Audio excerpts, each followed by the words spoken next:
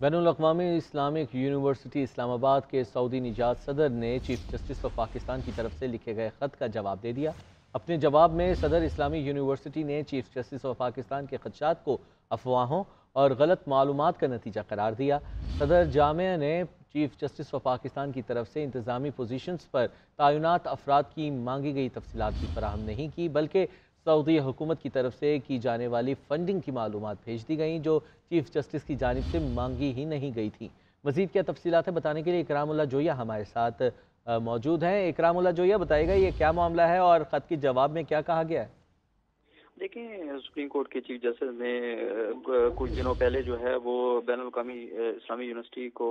जो है उसके मैार के हवाले से एक खत लिखा था। उसके जवाब में बैन अवी इस्लामी यूनिवर्सिटी इस्लामाबाद के सऊदी नजार सदर ने चीफ जस्टिस ऑफ़ पाकिस्तान की तरफ़ से लिखे गए खत का जवाब दे दिया है। अपने जवाब में सदर इस्लामी यूनिवर्सिटी ने चीफ जस्टिस ऑफ़ पाकिस्तान के खदशात को अफवाहों और गलत मालूम का नतीजा करार दिया है, जबकि सदर जामिया ने चीफ जस्टिस ऑफ़ पाकिस्तान की तरफ़ से इंतजामी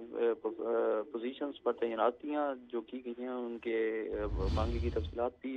फ्राहम कर दी गई है, जबकि असिस्टेंट प्रोफेसर ने अपने खत में इंतजामी पोजीशन पर की जाने वाली तमाम तैनातें कानूनी करार दे दी हैं, जबकि सदर जामिया की तरफ़ से मांगी गई तफसीत के बरक्स सऊदी हुकूमत की तरफ़ से की जाने वाली फंडिंग की मालूम जो है वो भी भेजी गई है, जबकि चीफ जस्टिस ऑफ़ पाकिस्तान ने अपने खत में सऊदी फंडिंग की बाबत कोई सवाल नहीं उठाया था, जबकि इस्लामी यूनिवर्सिटी इंतजामिया ने नहीं बताया कि कोई कोर्ट की वाज अहकाम के बरक्स ताल के नायब सदर की अहम पोजीशन पर मुकाबले के रुझान के तहत अहल अफराद की तैनातियाँ नहीं की थी, जबकि सदर जामे ने यह भी नहीं बताया कि जामे के अक्सर फैकल्टी के तीन कवायद के मुताबिक क्यों लगाए गए हैं, जबकि ये भी नहीं बताया गया कि इस्लामी यूनिवर्सिटी के ठीक है, इकराम, आप हमारे साथ करिएगा।